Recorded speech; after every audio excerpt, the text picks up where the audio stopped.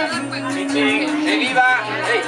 Allora, l'anno prossimo la rifacciamo, ma dovete essere almeno... Va bene? Vediamo dentro, i critici.